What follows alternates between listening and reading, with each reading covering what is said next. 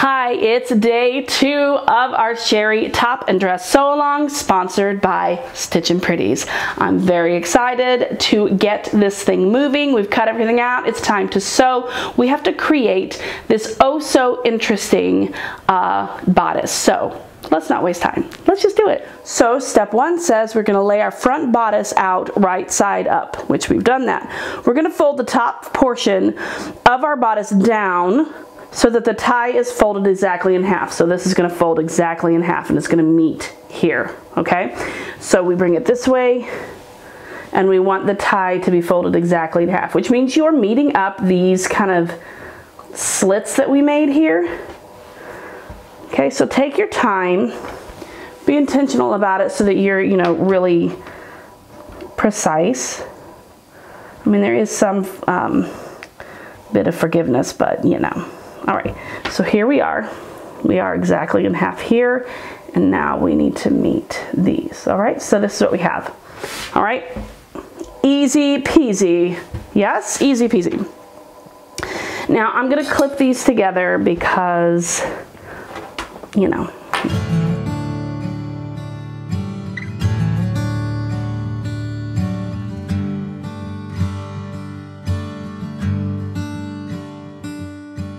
So using our regular sewing machine and a one quarter inch seam allowance, we're going to start at this short end of the V. So this is the short side, this is the long side, right?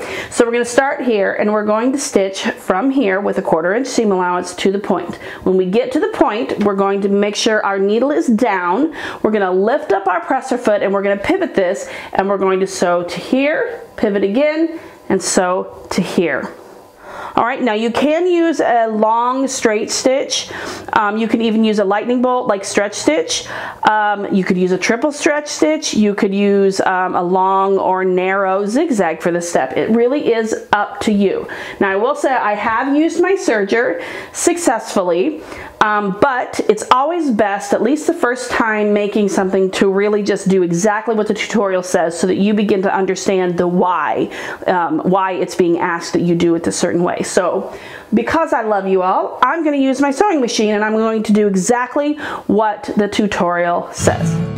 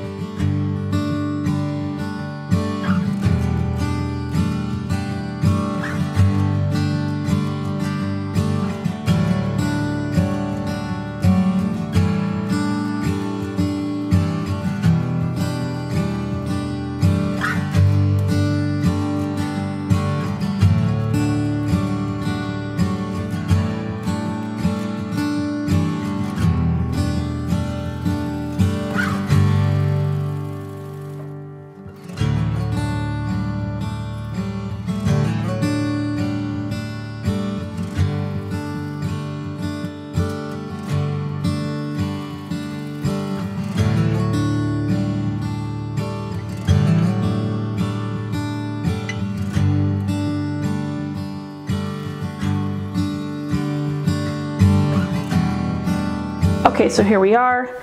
Now if we unfold it and just lay it out, First of all, the first thing you notice is that it now looks like a normal bodice, right? All right, so before we do anything else, we're gonna set this bodice to this, this front bodice to the side. And we're going to repeat the exact same thing on our back bodice. Something to notice, and I only say this because I have made mistakes in the past.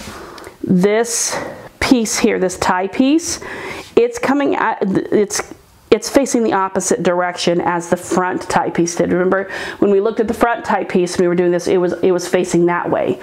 That's what you want. They need to be facing opposite directions. If the, if, if the back, if they face the same direction, you've cut, the, cut one of them wrong.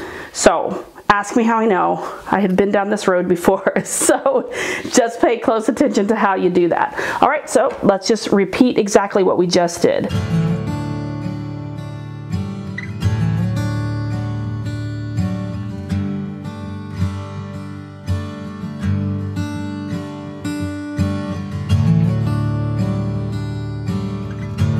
we are ready to go to our sewing machine and we're going to do what we just did beginning at the short um, the short V, the short side of the V. There we go. I'll get it some, at some point today.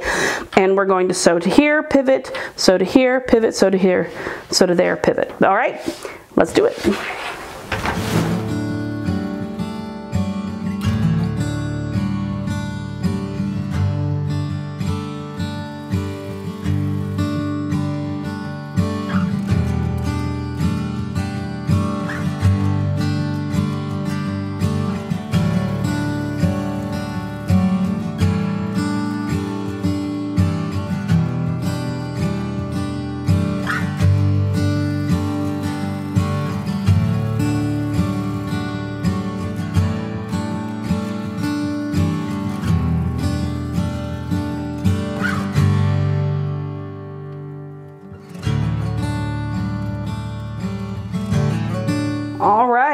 So I lost a game of bobbin chicken. Um, so that took a little longer than it should have. Um, so I've got some threads here and there.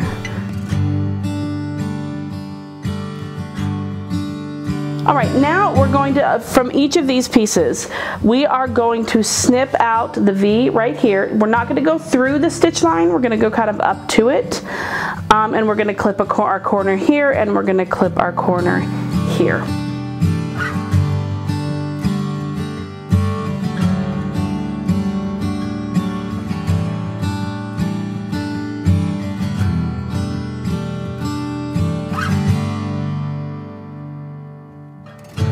Now that we've done that with both, it's time to turn our ties right side out.